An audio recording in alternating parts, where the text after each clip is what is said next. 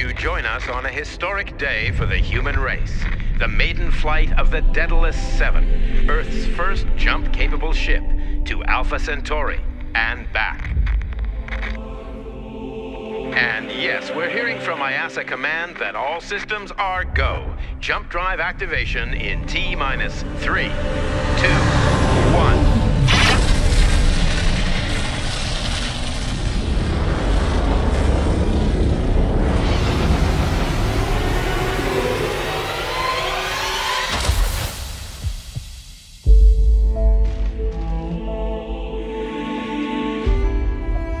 Investigation continues into the disappearance of the Daedalus 7 following last month's incident. IASA spokesmen say the Daedalus crew could be anywhere in the galaxy.